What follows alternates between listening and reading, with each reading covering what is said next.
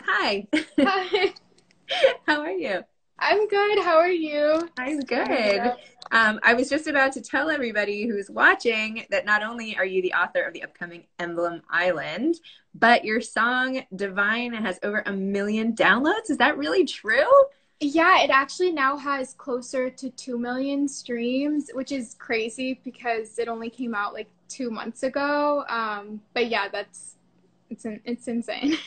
Oh my, well, congratulations. That's Thank fantastic. you. Oh my gosh. So how, um, and your sister, by the way, was so nice to include me in her news uh, newsletter. Um, Yeah. And like half the time we talked, she was talking about you, by the way. She adores Aw. you. And you guys oh yeah, twins, I just right? saw her comment. Oh, Yeah. she's here. Aw. um, so, okay, first, first tell me about your book. Let's talk about the book. What made you write a book? Why this topic? Go. Um, okay, so this is my book. It's called Emblem Island Curse of the Night Witch. It's the first in the Emblem Island series, um, which is basically about a magical island where everyone is born with markings on their skin that represent their talent, like their superpower, their fate. So they have like a lifeline across their palm, and also their role in society. And the first book is all about the main character who doesn't like his fate and will go to great lengths to change it. Um, and it's inspired by Latinx myths from my childhood. So um, my twin sister and I were Colombian, and we grew up hearing these stories from our grandmother. And I kind of turned those stories and was inspired by those stories to write this book. Um, but and so that was the inspiration for this specific book. But I've always wanted to be an author. I've been writing books for years, and this is the first one that got published. So exciting, Yeah. Right? I mean, oh my gosh, Yeah. that's such a huge accomplishment. So, how long did this particular book take you to write? Um, so this particular book took only like three weeks. Um, but Three it weeks was, to write? Mm-hmm. it, which is not something I'm necessarily proud of because I've written, this is the sixth book that I've written. It's just the first one that got published. And the other books took a really long time. I wrote all through college and even through high school. I started writing when I was like 13. Um, but this is the first book where it really was just like spilling out of me. I knew exactly what to write. I think it was the first book of like my heart. So it really just spilled onto the page. And strangely, most of what I wrote in those three weeks ended up in the book. Obviously, like as you know, you go through so many um, editors and different processes. So it definitely changed. It got twice as long. So it would have taken a lot longer if it had been the full length. Um, but it was really easy to write. Whereas now I realize the past books, I was kind of forcing it. This is truly like the book I was meant to write, I feel like. Um, so it was really quick, but that's definitely not normal. Wow. Yeah. Um, there is something to like, kind of like fitting a, what's it called? Like a square peg in a round hole. You know, like you can try and try and try, but sometimes like it's just not working. And then you find something else and it, that for whatever reason, that's where the magic is. So. Really, I think that when you find something that you're really meant to write and you're in a perfect place to write it, it's kind of you're just in a flow and it just it comes out and I think that's what happened with this book. It's so exciting. So you said it's the first in a series. So you have plans to write about all the different characters, or what's it going to look like? Um, so my deadline for book two of the series is actually today. Um, You better, you better go. I know it's it's actually kind of been a similar process where I've been writing in a very short amount of time. Um, my publisher gave me a long time, and I I did the whole synopsis. I figured out exactly what was going to happen back in October.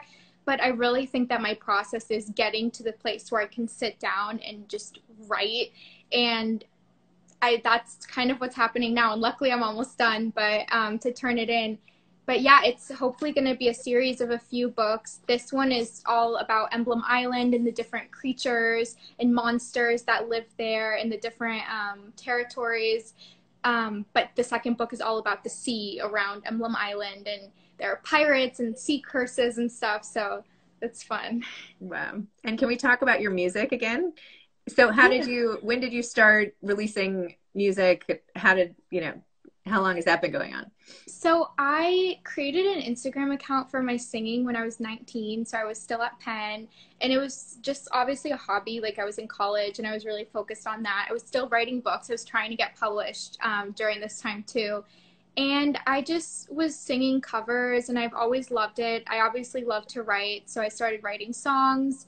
And just like the books, how I wrote millions of words before the first one um, actually came out into the world, which it comes out in June. Um, I wrote so many songs, and I finally wrote a song where I was like, I really love this. I think this is the best I can do right now. And I found a really great producer. The producer for Divine produced Alessia Cara's last album and Dua Lipa. And he was great. And he came to New York and we went into a studio and we made the song in three days. And I decided to um, release it myself because the book industry and the music industry are actually really similar. There's a lot of parallels um, from the business side in terms of royalties and advances, but also in terms of like the fact that the record label is kind of like your publishing house. So, having had my experience with my publishing house, which I absolutely love, and they've allowed me to have a lot of control, I wanted that control with my first release. So, I released it and I didn't really think much of it the first day. Um, it only had like 600 streams and 200 listeners. So, I was like, oh, great, this isn't going to go well. And then, like, two weeks later, it had gone up to like half a million streams um, and it just kind of went viral on TikTok. Um, but it's crazy because it really I've done everything. I don't have like a manager or a label or anything, so it's really insane how that has taken off with just one song. Um, yeah. That's amazing. And so, can you say who your producer is? My so my husband's a music oh. producer. He's commenting here, and he's like, "Who's who's your producer?" Oh, really? yeah, oh, I you should talk to him. That. Yeah, yeah. Oh, yeah, definitely. I would love to. So it's Jon Levine so he um like J O N um Bean and he I think oh I like can't even see the comments right now but yeah um he was amazing. And as you know like I think with writing producing like it's two separate parts of the same like end product so you really have to find someone who you mesh with and I think I was really afraid um, up until Divine to do that with someone because you just never know what's going to happen and you don't know if they're going to get your vision. But it was perfect. And um, I released it kind of right before the pandemic, uh, which wasn't great timing. And my book releases um, in June. But I think it's really interesting to see the differences between the two releases and how that will work.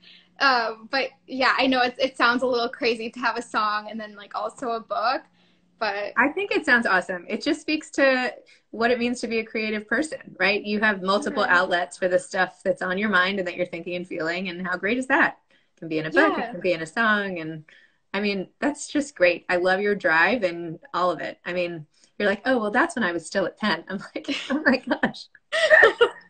yeah i mean i think it's it's hard because a lot of people see they're like oh my gosh you have like almost 2 million streams on divine you released it yourself. Oh my gosh you have a children's book series that that's crazy. But it's really the culmination of so many years of work. Like i started writing when i was 13 and i started trying to get an agent when i was 14 my mom was sending me um, she they moved and she has my old books. And she sent me this book. It was like from 2011 of like guide to literary agents. Oh my and gosh. so i remember all of that. I've had hundreds of rejections and it's been hard um, and the only reason why now i'm like relatively young having this come out is because i started really young. Um, and then the song again like i i've written so many songs. It's been a long process and it just so happens that they're both coming out at the same time. Oh my gosh. Well, congratulations on all of it. And I'm so excited to follow you and like see what happens from now on. And I'm going to put you in touch with Kyle even just to for fun talk music and whatever. Yeah, no, I would love that. But I really didn't know that. That's amazing. But yeah. I think your point is really good that creative people usually have many interests and even though it's kind of not I don't know, really supported to say, oh, this person is in two different industries and that don't really overlap. I think that anyone who is creative in writing is probably doing it in multiple um, different areas and genres. So, yeah, I love it.